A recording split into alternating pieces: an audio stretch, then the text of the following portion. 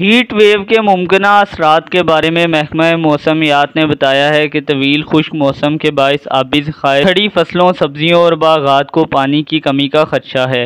तजवीज़ दी गई है कि अवाम गर्मी से बचाव के लिए एहतियाती तदाबीर इख्तियार करें और किसान मौसमी हालात के मुताबिक फ़सलों को पानी देने के लिए मुनासिब इकदाम करें। माहरीन के मुताबिक थोड़े अरसे में ये दूसरी गर्मी की लहर है, जिससे तकरीबन पूरा पाकिस्तान ही मुतासर होगा। ताहम हर हिस्से में वहाँ के मामूल के मुताबिक गर्मी से दर्जा हरारत मजीद पाँच से सात डिग्री तक बतदरीज बढ़ता रहेगा। इस लहर से सबसे ज़्यादा जनूबी पंजाब मुतासर होगा, जहाँ दर्जा हरारत बतालीस से भी बढ़ जाएगा। जब जबकि लाहौर में दर्जा हरारत बतालीस सेंटीग्रेड तक बढ़ सकता है।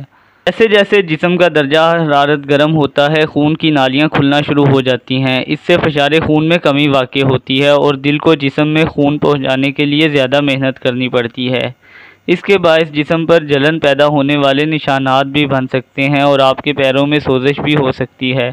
इसके साथ साथ पसीना बहने की वजह से जिसम में पानी और नमकियात की कमी वाक़ होने की वजह से जिसम में इनका तोज़न बदल जाता है।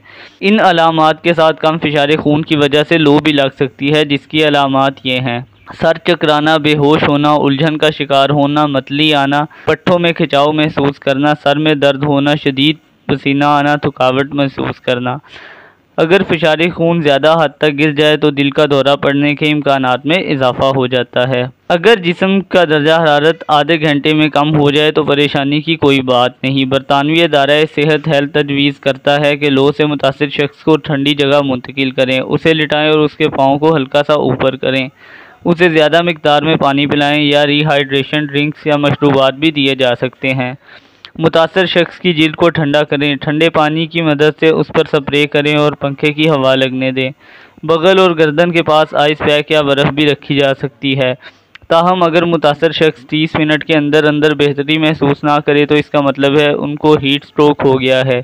ये एक हंगामी सूरत हाल है और आपको फ़ौर तिबी अमले को फ़ोन करना चाहिए। हीट स्ट्रोक का शिकार होने वाले फ़र्द को गर्मी लगने के बावजूद पसीना आना बंद हो सकता है। मुतासर शख्स के जिसम का दर्जा हरारत 40 डिग्री सेंटीग्रेड से ज़्यादा होने के बाद वो बेहोश हो सकता है या दौरा पड़ सकता है।